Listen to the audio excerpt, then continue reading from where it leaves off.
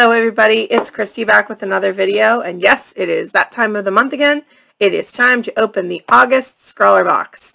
So excited about this one. I got the correct box this month. Um, no October box again, which is exciting. So let's see what's inside and if it's worth it. Okay, I'm going to open this. Okay, we got some pens here. Ooh, we got some more pens. And a sticker. Okay, Let's get it all out. Scrawlrbox, August 2021, Digital Dystopia. Okay. All right, let's save that for a second. We have a little toffee chocolate here. The sticker is super cute. Here's the Scrawlr zine. Look at this piece of art. Oh my goodness. Okay, hold on. Hold it flat so you guys can see it. That is so cool. Um, Caparso is the featured artist. There's their socials and is a graffiti writer and member of Bandits Dresden, which is a graffiti crew in Germany. Oh, that's so cool. Wow. All right. So that's kind of the idea here. Very excited to see what all we get to do with this box. And we've got, okay, let's get this out of the way. And let's talk about what's here. Okay, so we have, these look like, oh, these are boards. So these are like illustrator boards of some kind. Daler Rowney Mixed Media Art Boards, three pack. Okay, cool. There's three of them in here, so that'll be fun. We have a Derwent line maker in point three. We have, ooh, my favorite, Signo. It's a broad Signo, so I think that's a 0.7 or 0.8 nib does it say 1.0 millimeter nib. So this is a chunky boy. This is a chunky, chunky pen. I love these though, so I'm very excited about that. Then we have, okay, so we could have gotten three different colors of this line maker. We got the pink.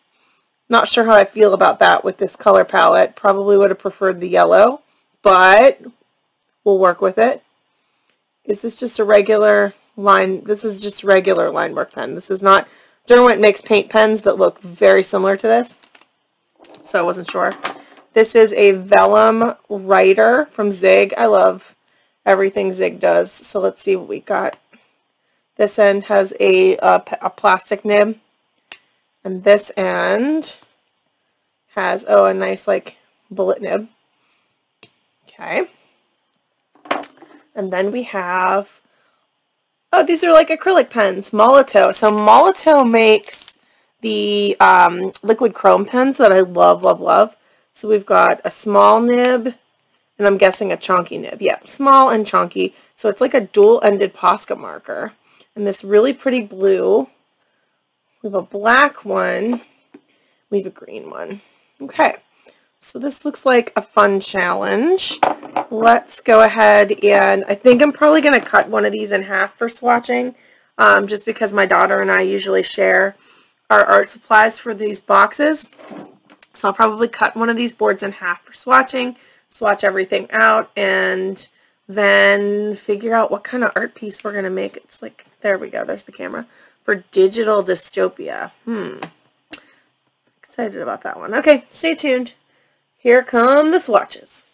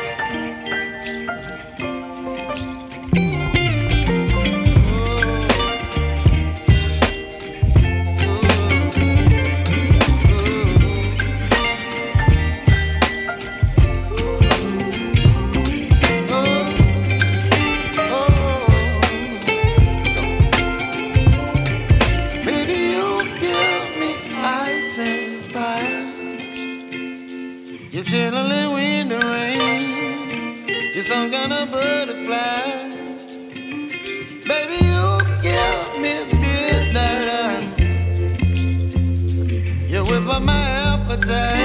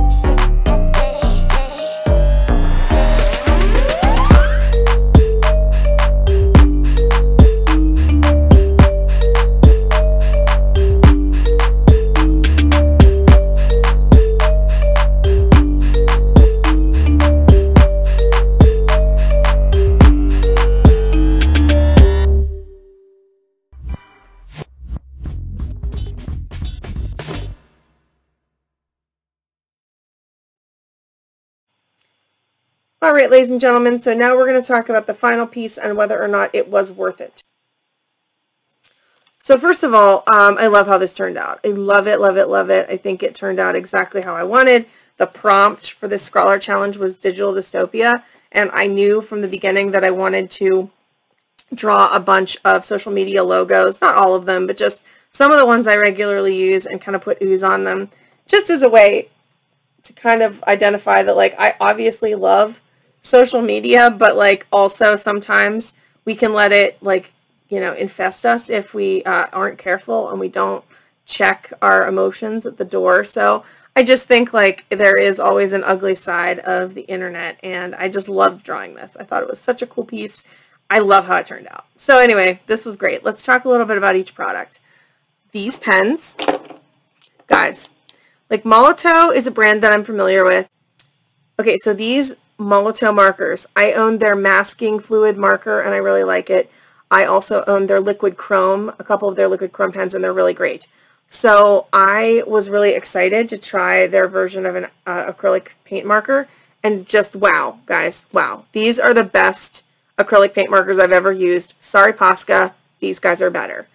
I like them better for many reasons. The coverage was great. I didn't get any of the weird, sometimes with my Posca markers, especially on like a board like this, I get like weird spraying when I use it. I didn't get that at all with these.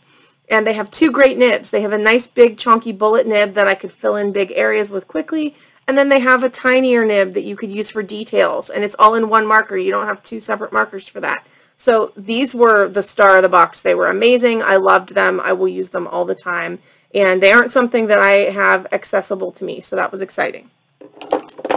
I didn't use this pen as much as I thought that I would. But this is a really great um, vellum writer. It's archival ink. Um, I will use this a ton for my alcohol ink pictures. So I love it. It was definitely a value add for me because it's not something, again, that I own. On the other side, um, and not in a bad way, this is a great highlight. It gave me a chance to really make the ooze look cool. And um, I love the Uni Signo broad gel pens. I have a ton of them. I always use them. I can always use another one. So I'm really happy to have this. If I had to say there was one negative in this box, it would be this guy. Um, not because it's a bad pen. It's a good pen, but you can't even really see the pink at all because I, unless I was going to use it over top of the white, it was not going to show up very nicely on anything that was an opaque paint marker. I think the thing that would have been just, holy crap, this box is already amazing, but what would have been really cool is if Derwent makes paint markers that are about the same size and they have the fine line nib.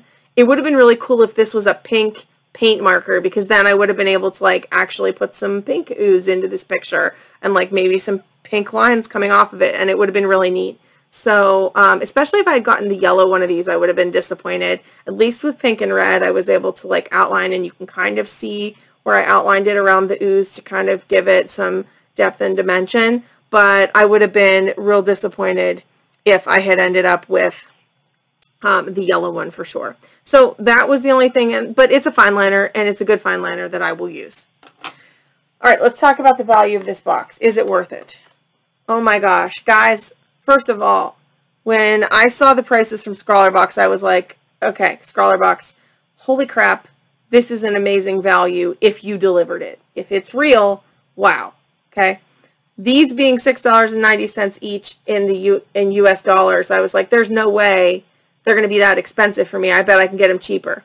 I was very wrong about that. These pens are very expensive for me to get, and the best I could do is $9, basically $8 more, 8 and change more than what Scrawlrbox uh, estimated them at. And when you look at everything else here, the only thing I couldn't find a direct comparison for was the mixed media art boards from Daler Rowney, but I used crescent boards from Jerry's Artorama, same amount, um, and that their price was 440. So this is definitely a fair price. But if I wanted to uh, use more mixed media boards, which I might, because I really liked doing this piece, um, that's probably what I would get to replace them with. These were very, I wouldn't be surprised if it's almost the exact same mixed media art board, the crescent ones. So um, when I valued this box, the value was 47.75. The pens alone are almost as much, maybe more than I paid for the box. So like then you just have all the rest of it and it's an added bonus. So this box was over $20 more value than what I paid for it. Holy wow. Scrawlrbox blew it out of the park this month. I absolutely loved this box. I thought it was so much fun. Um, and I'm just very, very impressed and glad that I stuck with Scrawlrbox because I really think I've been getting my money's worth a lot from them lately. And uh, Sketchbox, uh, you better you better really wow me for Inktober. I'm saying because I've been looking at some other things and yeah, that's all I'm saying. But all right, well I hope you really enjoyed this. I just love that this piece turned out so nice. And fun, and I hope that you had a good time being on the journey with me today. And thank you so much for watching. If you like everything, please leave a like and subscribe to the channel, and we'll see you in the next video. Bye for now. Have a good one.